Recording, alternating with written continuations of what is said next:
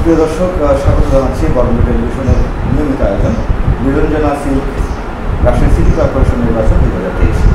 আপনারা জানেন যে এই নির্বাচনের বিষয় নিয়ে আগামী একুশ জুন নির্বাচন অনুষ্ঠিত হবে রাজশাহী সিটি কর্পোরেশনে।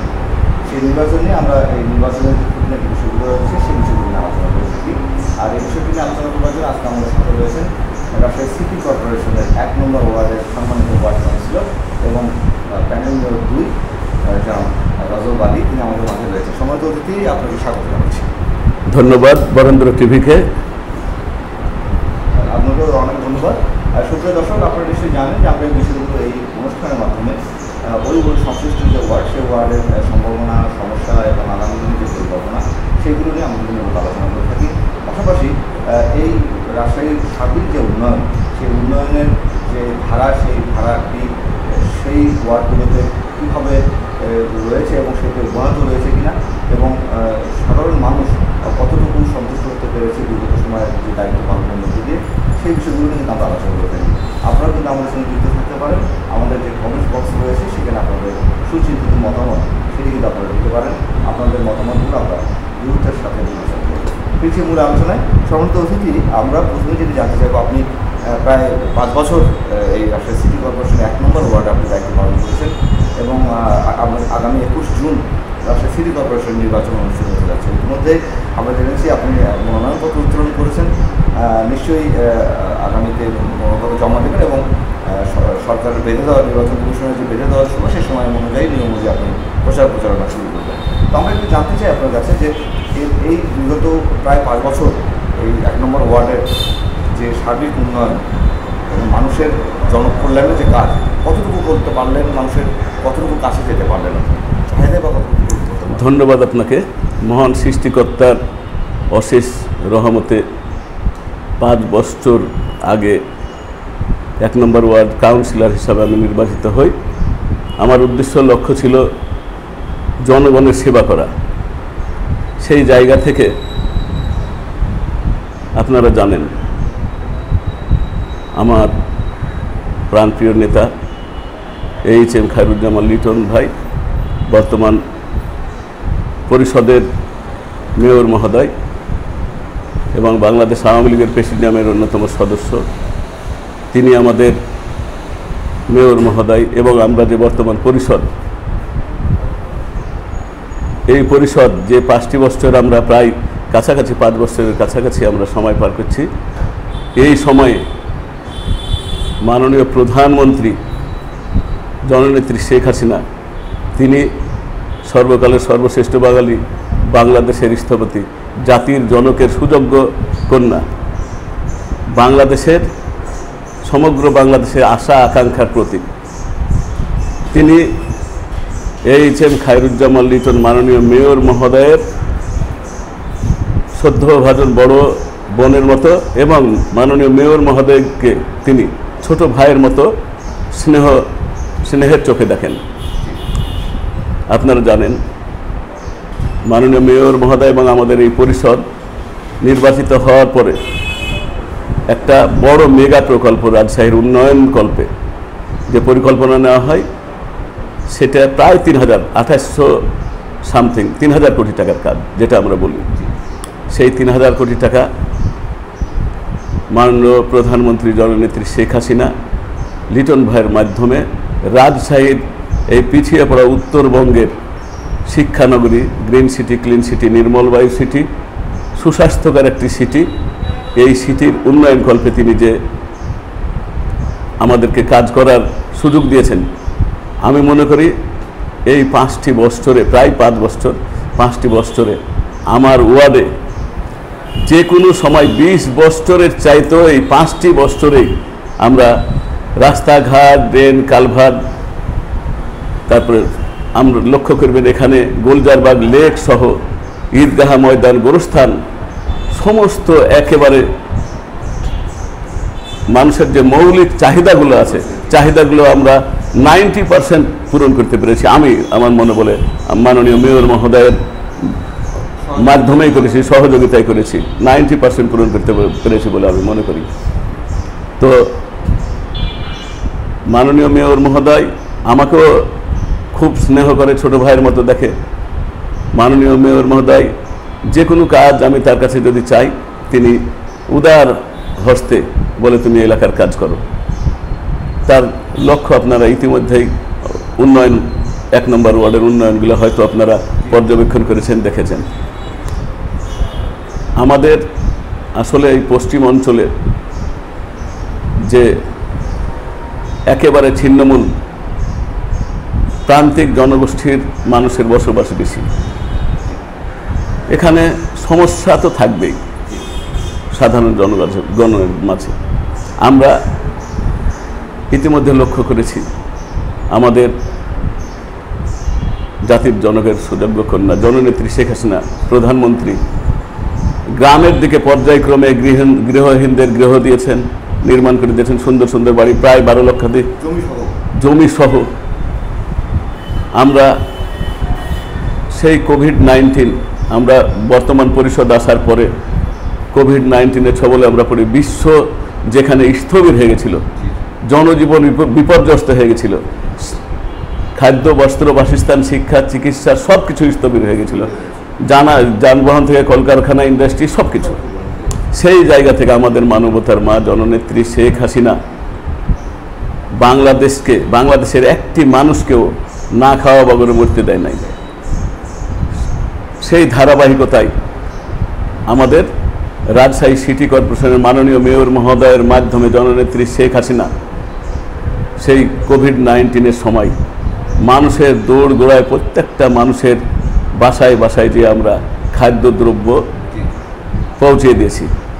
এবং যা, যে সমস্ত বাসায়, বিশেষ করে আমার এক নম্বর ওয়ার্ডে বলি, যে সমস্ত বাসায় কোভিড নাইন্টিন আক্রান্ত হয়েছে, সেই সমস্ত বাসায় আমরা টেলিফোন করে এবং আমরা বলেছিলাম যে আমরা কয়েকটা নাম্বার দিয়ে দিয়েছিলাম, আমাদের নাম্বারে যোগাযোগ করলে আমরা সেই বাসাতে দৈনন্দিন যা যা কিছু লাগে, সমস্ত কিছু, খাদ্য, বস্ত্র যা যা লাগে, প্রত্যেকটা জিনিস আমরা মানুষের চাহিদা অনুযায়ী আমরা বাসায় পৌঁছে- দিয়েছি। তারপরে আমাদের মাননীয় প্রধানমন্ত্রী জননেত্রী শেখ হাসিনা কোভিড নাইন্টিনের যে ভ্যাকসিন বিশ্বজুড়ে যখন উন্নত দেশ এগুলা হিমশিম খেয়েছে সেই সময় আমাদের মানবতার মা বাংলাদেশে কোভিড নাইন্টিনের ভ্যাকসিন বিনা মূল্যে সরবরাহ করেছে। রাজশাহী সিটি কর্পোরেশনের মাননীয় মেয়র মহোদয় এবং আমাদের বর্তমান পরিষদ আমরা সেই ভ্যাকসিন মানুষের বিভিন্ন ক্যাম্পের মাধ্যমে, ক্যাম্প করে আমরা ভ্যাকসিনগুলো দিয়েছি। এবং মেডিকেলেও অনেক সময় মেডিকেলে, সরকারি যে সমস্ত জায়গায়, পরবর্তীতে আমাদের কাউন্সিলর, অফিসে কাউন্সিলরের বিভিন্ন জায়গায় হয়তো ক্যাম্প করে আমরা সেগুলো দিয়েছি, বিভিন্ন স্কুলে দিয়েছি। তো আমরা মনে করি যে কোনো সময়ের চাইতে আমাদের এই পাঁচটি বছর আমাদের যে পরিষদ, মাননীয় মেয়র, সুযোগ্য মাননীয় মেয়র মহোদয়, যার ধমনীতে প্রবাহিত আছে জাতির জনকের রক্ত সেই নেতার সান্নিধ্যে এসে আমরা এই বর্তমান পরিষদ যে কোনো সময়ের চাইতে আমরা মনে বল মনে আমি মনে করি যে আমরা সাকসেস আমরা মানুষের জনগণের আশা প্রত্যাশা পূরণ করতে অনেকটাই কাছে যেতে পেরেছি এবং আশা প্রত্যাশা অনেকটাই পূরণ করতে পেরেছি। সাধারণত ছোট ওই তো বললাম যে টেন পার্সেন্ট কাজকাম এখনও আমরা করতে পারিনি। তো কাজই করতে পারিনি। এখানে দেড় বছর কোভিড নাইন্টিনে স্থগিত ছিল, এই কাজটা আমরা তিন হাজার কোটি টাকার কাজ প্রকল্প পাস করতে করতে প্রায় এক বছর পার হয়ে গেছে। দেড় বছর আমরা কোভিড নাইন্টিনের কারণে কোনো কাজ কাম হয়নি, স্থগিত ছিল। তারপরে এই সংক্ষিপ্ত দুইটি বছরের মধ্যে আমরা কাজ কাম কেবলই শুরু করেছি এবং পর্যাপ্ত পরিমাণ যত দ্রুততার সাথে পারা যায় আমরা কাজকাম করেছি। তারপরে তো আপনারা জানেন, এই রাশিয়া, ইউক্রেন যুদ্ধ, এই যুদ্ধে দ্রব্যমূল্যের দ্রব্যমূল্যের যে র ম্যাটেরিয়ালস উন্নয়নের যে র ম্যাটেরিয়ালস আমাদের দ্রব্যমূল্য সহ উন্নয়নের যে র ম্যাটেরিয়ালস রড, সিমেন্ট ঢেউটিন সব কিছুর দাম মূল্য বৃদ্ধির কারণে তা অনেকটা স্থবির হওয়ার কথা। তাও আমাদের রাজশাহী সিটি কর্পোরেশনে সেটা স্থবির হয়নি। আমরা প্রায় আঠাশশো কোটি টাকার মধ্যে, তেরোশো কোটি টাকার কাজ ইতিমধ্যে সম্পূর্ণ করতে পেরেছি। আমাদের কাছে যে টাকাগুলো আছে, আমার এখানে যেমন এক নম্বর ওয়ার্ডে উল্লেখযোগ্য যে কাজগুলো হয়েছে উল্লেখযোগ্য গোলজারবাগ লেক, আপনার দৃষ্টিনন্দন একটা লেক লেক, তারপরে আপনার ঈদগাহ ময়দান সহ ওই চালনা সাগুদিয়া যে রাস্তাটা আছে। যেমন আমি যেই জায়গায় বসে কথা বলছি, এখানে একটা অত্যাধুনিক একটা সবজি মার্কেট এবং একটা অত্যাধুনিক মার্কেট সহ এখানে প্রায় ছয় বিঘা জায়গার উপরে যে সবজি বাজার হবে, এটাও মাননীয় মেয়র মহোদয় রাজশাহীর পশ্চিম অঞ্চলের এই অবহেলিত ব্যবসা বাণিজ্য যারা করে, তাদের কর্মসংস্থানের জন্য তিনি এটা মোটামুটি পাস হয়ে গেছে। আমার জানা মতে ডিসি অফিস পাশে ভূমি মন্ত্রণালয় হয়ে আবার ডিসি অফিসে চলে আসার কথা। এই বাজারটা হয়ে গেলে এই এলাকার কর্মসংস্থান অনেকটা বৃদ্ধি পাবে। আমাদের মাননীয় মেয়র মহোদয়ের, আপনারা জানেন নির্বাচনের ইশতেহার এবারের উন্নয়ন দৃশ্যমান, কিন্তু এবার করতে হবে আমাদেরকে কর্মসংস্থান। তিনি অঙ্গীকার করেছেন যে রাজশাহী সিটি কর্পোরেশনের জন্য পঞ্চাশ হাজার লোকের কর্মসংস্থান করতে হবে। আমরা জানি রাজশাহী একটি পিছিয়ে পড়া অঞ্চল, মঙ্গা কবলিত অঞ্চলের এক সময় ছিল, সেটা আস্তে আস্তে উত্তরিত, উত্তরণ ঘটেছে এবং এখন রাজশাহীর শহর হচ্ছে বাংলাদেশ তো বটেই, এশিয়ার মধ্যে একটি সুন্দরতম সুস্বাস্থ্যকর দেশ। তো আমার মনে বলে আমরা সাকসেসফুল আমাদের মাননীয় প্রধানমন্ত্রী, আমার যে উদ্দেশ্য, আশা, লক্ষ্য নিয়ে আমাদের মাননীয় মেয়র মহোদয়কে মেয়র নির্বাচন মেয়রের নমিনেশন দিয়েছিলেন। এবারও নৌকা মার্কা তাকে দিয়ে, দলীয়ভাবে নমিনেশন দিয়েছেন। তো আমার মনে বলে আমরা জনগণের আশা, আকাঙ্ক্ষা, আগামী একুশে জন যে নির্বাচন, সেই নির্বাচনে জনগণ আমাদের পাশে থাকবে। অবশ্যই অবশ্যই, কারণ আমরা জনগণকে দেখাতে পেরেছি আর যে আমাদের কার্যকারিতা, আমাদের ক্ষমতা, আমাদের মাননীয় মেয়র মহোদয়ের এবং তার সাথে সাথে বর্তমান পরিষদের বিশেষ করে আমি এক নম্বর ওয়ার্ডের জনগণের উদ্দেশ্যে বলতে চাই, তারা হয়তো ভুল সিদ্ধান্ত নেবে না। বঙ্গবন্ধুর নৌকা মার্কা, জননেত্রী শেখ হাসিনার নৌকা মার্কা এবং এইচ এম খায়রুজ্জামান লিটন ভাইয়ের নৌকা মার্কায় একুশ তারিখে ভোটটি দিয়ে আমাদেরকে বিজয় অর্জন যদি করান, করাবেই, ইনশাল্লাহ। তাহলে পরে আমরা, আমাদের যে সমস্ত অসমাপ্ত কাজগুলো আছে, আমরা করে এই রাজশাহী শহরকে বিশ্বের মধ্যে, এখন তো এশিয়ার মধ্যে আছে, বিশ্বের মধ্যে একটি শ্রেষ্ঠ শহর উপা- উপহার দেবো বলে, সিটি উপহার দিতে পারবে বলে আমরা বিশ্বাস করি, আশা করি। যেহেতু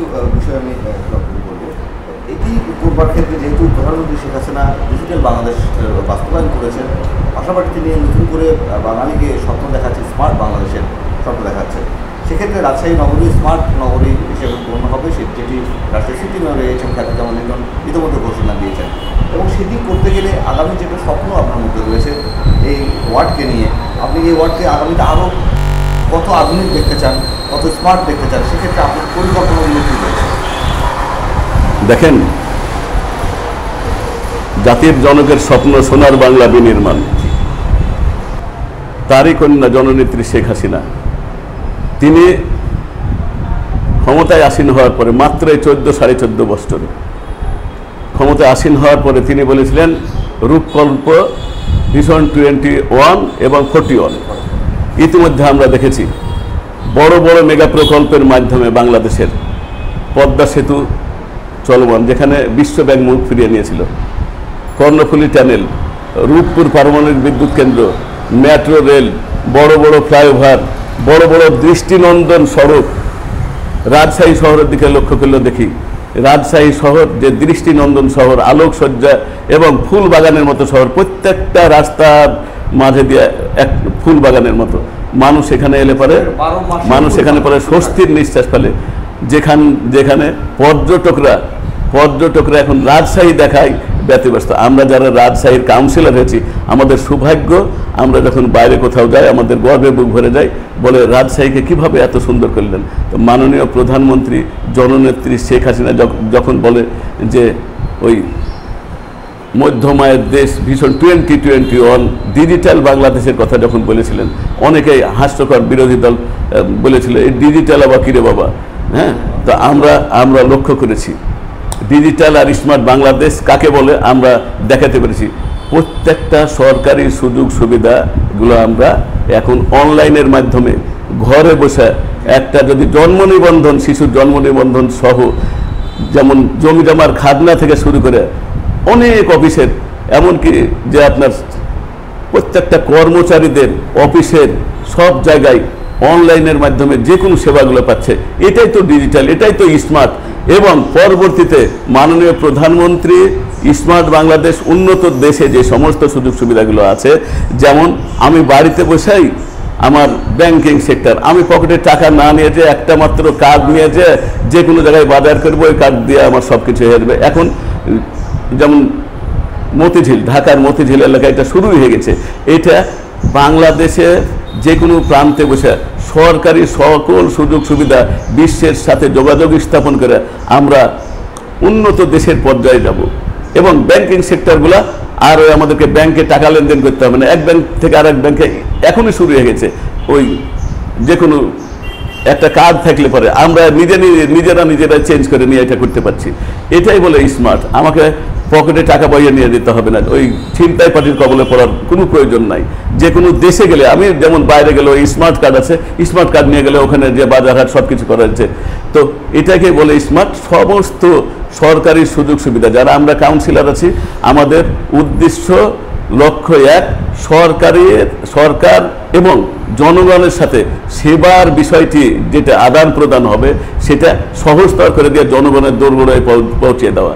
তো স্মার্ট বাংলাদেশ আমার মনে বলে সেটাকেই বোঝাচ্ছে যে মানুষ ঘরে বসে বিশ্বের আমরা যেমন লক্ষ্য করেছি যে এখন একটি মায়ের সন্তান বাইরে যদি থাকে তো ওই সন্তানের সাথে এই মোবাইলের মাধ্যমে মোবাইলের মাধ্যমে কথোপকথনের মাধ্যমে তার পরিবারের সাথে কথোপকথনের মাধ্যমে যে যোগাযোগ স্থাপন। যোগাযোগ স্থাপন হয়েছে এটা আসলেই তো একেই বলে স্মার্ট একেই বলে ডিজিটাল তো প্রত্যেকটা সেবা, সরকারি সেবা থেকে শুরু করে প্রত্যেকটা বিষয় আমরা ঘরে বসে হাতের মুঠোয় নিয়ে আসার চেষ্টা করছে মাননীয় প্রধানমন্ত্রী। এটাকেই বলছে স্মার্ট বাংলাদেশ সে রূপকল্প। সেটা তিনি যে ঘোষণা দিয়েছেন, দু হাজার একচল্লিশ সালের মধ্যে বাংলাদেশ হবে, স্মার্ট বাংলা, বাংলাদেশ। আমার মনে বলে দু হাজার একচল্লিশ সালও লাগবে না।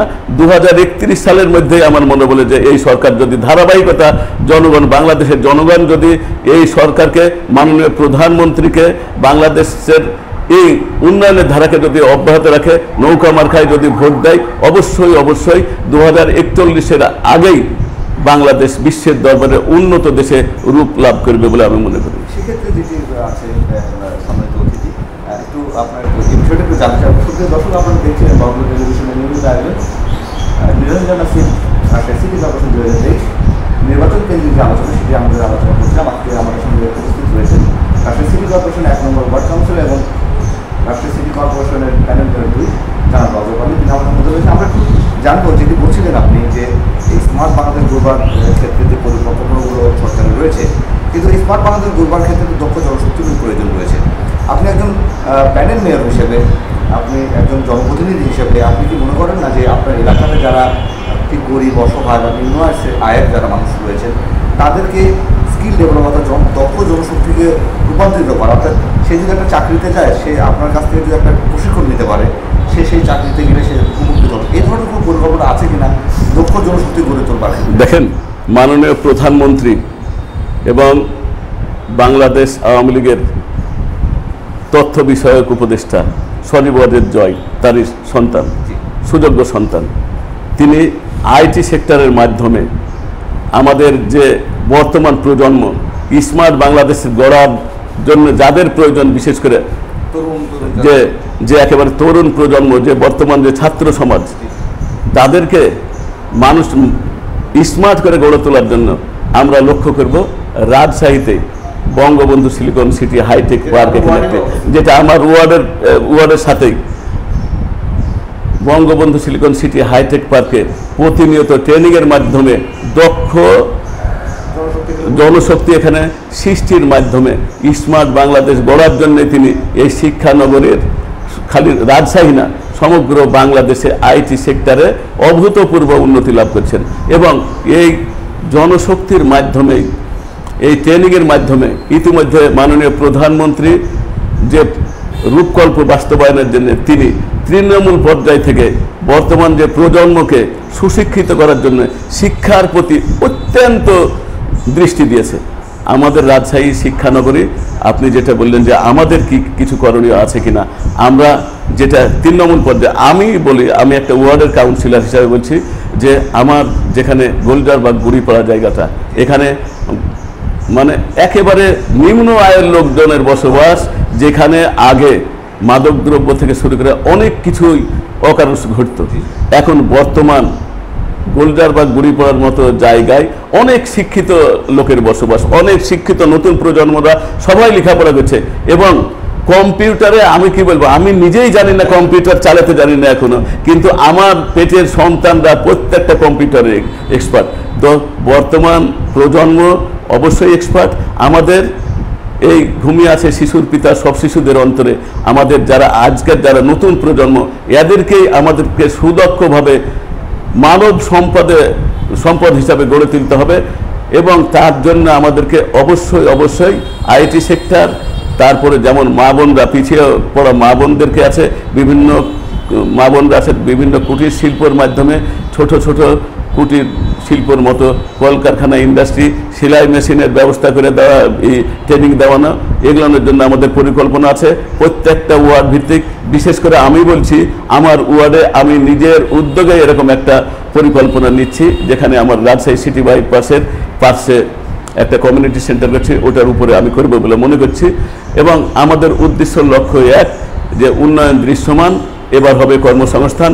মেয়র মহোদয় এবং জননেত্রী শেখ হাসিনার হাতকে শক্তিশালী করার জন্য আমরা বর্তমান পরিষদ যেভাবে কাজ করে যাচ্ছি, তার সাথে যারা আপনারা মিডিয়ার বন্ধুরা আছেন, আপনারা লক্ষ্য করছেন, আপনারা সব সময় জাতির দর্পণ, আপনারা এই দিকে লক্ষ্য রাখবেন। আমাদের ভুল ভ্রান্তিগুলো আপনারা অবশ্যই ধরিয়ে দেবেন এবং সেইভাবে আমাদের পথ চলা হবে। আমরা জনগণের সেবা করতে চাই। জনগণের সেবার চাইতে অতি উত্তম কোনো এবাদত নয় এবাদত নয় মহান সৃষ্টিকর্তা সৃষ্টি করেছেন মানুষকে শ্রেষ্ঠত্ব দান করে আমাদের উচিত সকলের লক্ষ্য উদ্দেশ্য হবে সেবা করা। শাসক না শোষক না সেবাই হবে আমাদের ধর্ম সেবাই হবে আমাদের কর্ম। সেবক হিসেবে। নিশ্চয়ই এটা আপনাদের শুভকামনা থাকবে তবে একটি কথা না আমার খুব জানতে ইচ্ছে করছে। মানে সেটি যেটি আপনার সবচেয়ে বড় একটা সাফল্য এই এলাকার কিছুক্ষণ আগে আপনি বলছিলেন বিশেষ করে আপনার এক নম্বর ওয়ার্ডের একটা বড় অংশ বিশেষ করে গুড়িপাড়া এলাকা থেকে একটা বড় অংশ একসময় আজ থেকে দশ পনেরো বছর আগে আমি বলি। মাদকের একটা আধিপত্য ছিল এলাকায়। সেই জায়গা থেকে আপনি কীভাবে ফিরে আসেন একদম আহ, অনেকটা প্রায় বেশিরভাগ কি মাদক যে নির্মূল করেছেন আসলে কীভাবে করলেন এটা? আপনি এর উদ্যোগটা কীভাবে নিয়েছেন? দেখেন যদি কারও উদ্দেশ্য লক্ষ্য থাকে যে আমি জনগণের সেবা করব জনগণকে এই খারাপ পথ থেকে উত্তরণের জন্য যা যা করার দরকার ও যারা ভোট ব্যালেন্স চিন্তা ভাবনা করে, তারা এই সমস্ত কাজ করতে পারবে না। আমি নির্বাচিত হওয়ার পরে, আমার মাননীয় মেয়র মহোদয় তো আমাকে অবশ্যই সহযোগিতা করেছে, প্রশাসনের রা- রাজশাহী প্রশাসন সহযোগিতা করেছে। এখনও বর্তমানে প্রশাসন জানে যে এটা সরাসরি বিরোধিতা করি আমি। আমরা এক নম্বর ওয়ার্ডে বিশেষ করে, এক নম্বর ওয়ার্ডে বিভিন্ন মসজিদের কমিটি, মসজিদের ইমাম, মুয়াজ্জিনদেরকে নিয়ে বিশেষ করে বর্তমান যে তরুণ প্রজন্ম আছে, তরুণ প্রজন্মদেরকে সাথে নিয়ে, আপনারা জানেন আমার ছোট ভাই নাহিদ আক্তার নাহান, তাকে সাথে নিয়ে বিভিন্ন কমিটির মাধ্যমে আমরা প্রতিনিয়ত টহল দিয়ে তাদেরকে আগে যারা মাদকদ্রব্যের ব্যবসা করতো, তাদেরকে আগে বুঝাইছি, না শুনলে তাদেরকে পুলিশে সোপর্দ করেছি এবং এখানে যারা মাদক সেবন করতে আসতো, তাদেরকেও আমরা ধরে বিভিন্ন সময় পুলিশে সোপর্দ করেছি এবং বলেছি যে আমার এই অঞ্চলে এই ধরনের মাদক দ্রব্যের কোনো ই চলবে না। ব্যবসা ব্যবস্থা চলবে না। যে যদি মাদক ছাড়তে হবে নাহলে এলাকা ছাড়তে এলাকা ছাড়তে হবে। পরিষ্কার কথা এটা। এটা আমি ওইভাবে এখনও আমি আমি কিন্তু আমার স্ট্যান্ড ওইভাবে আছি। আমি কোনো সময় মাদককে সাপোর্ট করি না। অনেককে অনেক সময় অতীতে হ্যাঁ ভোট ব্যালেন্স করতে যে এটা নিয়ন্ত্রণ করতে পারেনি। কিন্তু আমার বিষয়টি সম্পূর্ণ আলাদা। আমি সেবা দিতে এসেছি, জনগণের ভালো লাগলে আমাকে ভোট ভোট দিবে, আমি নির্বাচিত হব, আমি যদি আমাকে উপযুক্ত মনে করে, আর না হলে আমি করলাম না। কারণ এটা আমার রুটি রুজির জায়গা না। কেউ যদি এটাকে রুটি রুজির জায়গা মনে করে, তাহলে তার জন্য সমস্যা আছে। সে কোনো কিছুই করতে পারবে না ব্যালেন্স করতে যে। এখানে একেবারে তৃণমূল পর্যায়ের লোকজন সেবাও পাবে না সেইভাবে। এটা আমি মনে করি। নিশ্চয়ই এই এই যুদ্ধে নেমে এই মাদক বিরুদ্ধে সংগ্রাম করতে গিয়ে আপনার ভাই, সে প্রাণ হারিয়েছে, আমরা যেটা জানি যার বিচারও ইতিমধ্যে আরও হয়েছে। আমরা তার রোজের মাত্রার কামনা করছি, তিনি একটি, এই মাদকের বিরোধিতা করতে যেয়ে আজকে তিনি প্রাণ হারিয়েছিলেন। এবং এটি সত্য কথা যে, যারা এই ধরনের মাদকের বিরোধিতা করে, তারা হয়তো ভোটের চিন্তাটা করে না। যে লোকরা মাদক ব্যবসা করতো, তাকে যখন মাদককে বিবৃত করা হয়, তাহলে এলাকা ছাড়া করা হয় সেই ওই লোকেরা ভোট দেয়। সেই চিন্তাটা বাদ দিয়ে কিন্তু এলাকাকে মাদকমুক্ত করার জন্য তারা কাজ করেছে। শেষের দিকে আমরা রয়েছি, ছোট্ট একটি জিনিস বলব, যেটা একটা দাবি উঠেছে। আপনি যেহেতু প্যানেল মেয়র প্যানেল মেয়র হিসেবে আপনাকে এই দাবিটা আমি আমাদের বন্ধুদের মাধ্যমে আপনার কাছে করতে চাই। সেটা হচ্ছে রাজশাহী সিটি কর্পোরেশনের ত্রিশটি ওয়ার্ড রয়েছে। সেই ত্রিশটি ওয়ার্ডে স্থায়ী কার্যালয় নেই। এখন দাবি এসে নতুন করে যে এত উন্নয়ন হয়েছে রাজশাহীতে। প্রত্যেকটা ওয়ার্ড একটা স্থায়ী স্মার্ট কার্যালয়, যে কার্যালয়ে সকল ধরনের সুবিধা থাকবে সেই ধরনের একটি পরিকল্পনা আপনারা নেবেন কিনা বা আছে কিনা? আমার আমার এক নম্বর ওয়ার্ডে সেই এই ওয়ার্ডে সেই ধরনের পরিকল্পনা অবশ্যই আমাদের আছে। আমরা আমরা লক্ষ্য করেছি ইতিমধ্যে মাননীয় মেয়র মহোদয়ের সহযোগিতায় যে সমস্ত ওয়ার্ডে সরকারি জায়গা আছে। আমাদের সিটি কর্পোরেশন তথা খাস জায়গা আছে। মাননীয় জেলা প্রশাসকের মাধ্যমে সেই সমস্ত জায়গাগুলো জায়গাগুলো নিয়ে ইতিমধ্যে ইতিমধ্যে কয়েকটি ওয়ার্ডে আমাদের কার্যক্রম শুরু হয়েছে, টেন্ডারও হয়েছে। আমাদের এক আমার এক নম্বর ওয়ার্ডেও সেই ধরনের পরিকল্পনা আছে এবং একটি জায়গাও আমাদের মোটামুটি চুজ করা আছে। আমার মনে বলে যে এই ব্যস্ততার কারণে আর এই অতি অল্প সময় সময় সংক্ষিপ্ততার কারণে, অতি অল্প সময়ের মধ্যে আমাদেরকে অনেক কাজ করার কারণে অনেক অনেক কাজ করার কারণে আমরা ওটা করে উঠতে পারিনি। তো পরবর্তীতে যদি জনগণ চাই আবার যদি নির্বাচিত হতে পারি, অবশ্যই অবশ্যই এক নম্বর ওয়ার্ড, এক নম্বর এক- এক নম্বরই থাকবে এই বলে আমি বিশ্বাস করি। এবং যে আপনি কথা বললেন যে একটা কমিউনিটি ক্লিনিক সহ, একটা কাউন্সিলর অফিস সহ একটা দৃষ্টিনন্দন সকল সুযোগ, সুবিধা যেন মানুষ এক জায়গায় যে পায়। সেই ব্যবস্থা করার জন্য আমাদের আমার পরিকল্পনা আছে এবং মাননীয় মেয়র মহোদয়ের সাথে এ বিষয়ে আলোচনা হয়েছে। তিনি অবশ্যই করে দিতে চেয়েছেন, খালি জায়গা দেখানো। এখন কিছু কিছু জায়গা আছে যেগুলো জানেন যে খাস জায়গাগুলো মানুষ বাড়ি ঘর করে নিয়ে বসে আছে। এখন এদের ব্যবস্থা একটা করে দিয়ে এই সমস্ত জায়গাগুলোকে আমাদেরকে ভ্যাকেট করতে হবে। কারণ মাননীয় প্রধানমন্ত্রী জননেত্রী শেখ হাসিনার একটা নির্দেশনাও আছে যে গৃহহীনদেরকে যারা গৃহ- গৃহ- গৃহহীন করা যাবে না গৃহ দিয়ে তারপরে ডেভেলপ করতে হবে। সেই দিকে আমরা লক্ষ্য রাখছি মাননীয় মেয়র মহোদয় সেই দিকে লক্ষ্য রেখে আমরাও সেদিকে লক্ষ্য রেখে আমরা আগাচ্ছি। তবে আমার ধারণা আমরা পর যদি নির্বাচিত হই বর্তমান মাননীয় মেয়র মহোদয় একুশে জুনে যদি তাকে নির্বাচিত করে জনগণ ভোট দেয় এবং তার সাথে সাথে আমি যদি নির্বাচিত হই অবশ্যই অবশ্যই এক নম্বর ওয়ার্ডে একটি কাউন্সিলর অফিস কমিউনিটি ক্লিনিক সহ সকল সুযোগ সুবিধা পাবে এরকম একটি প্রতিষ্ঠান অবশ্যই গড়ে উঠবে। ধন্যবাদ চমৎকার কথা বলছিলেন। সর্বশেষ আপনি আপনার এলাকার জনগণ যারা আপনার দিকে তাকিয়ে থাকেন আপনার সেবা আপনি যে সেবা দিয়ে আপনার জনগণের কাছে গিয়েছিলেন করোনাকালীন থেকে নানা ধরনের সেই জনগণের উদ্দেশ্যে কিছু বলবেন আসসালামু আলাইকুম। সম্মানিত এক নম্বর ওয়ার্ডবাসী, দীর্ঘ পাঁচটি বছর আগে, প্রায় পাঁচটি বছর আগে আমাকে আপনারা কাউন্সিলর নির্বাচিত করেছেন। মহান সৃষ্টিকর্তার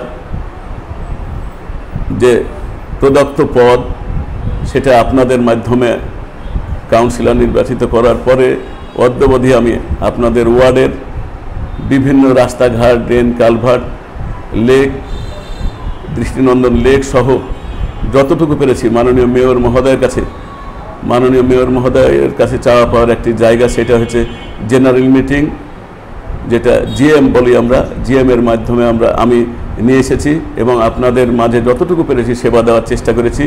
আমার সেবার মান, মন মানসিকতা, সেটা আপনারাই বিচার করবেন।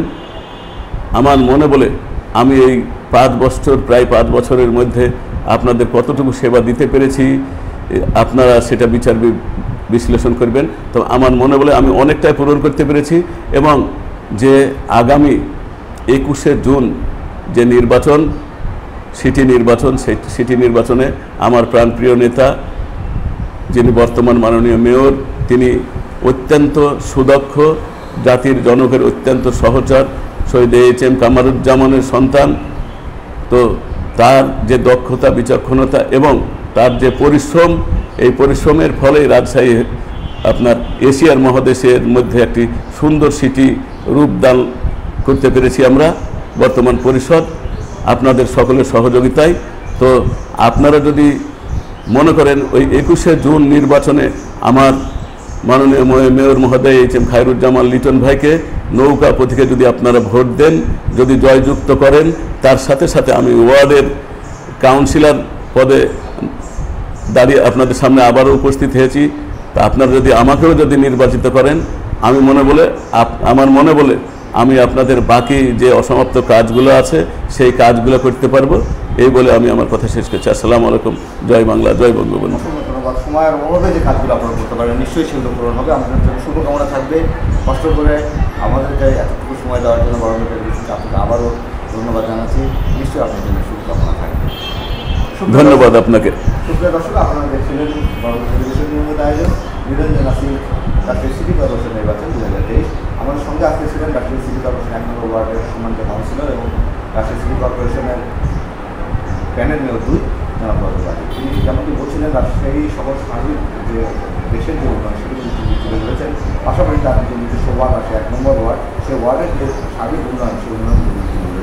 স্বল্প সময়ের মধ্যে আপনারা জানেন যে প্রায় দেড় প্রায় দুই বছরের কাছাকাছি করোনা সংকটে সারা বিশ্ব যখন স্থিতি হয়ে পড়েছিল।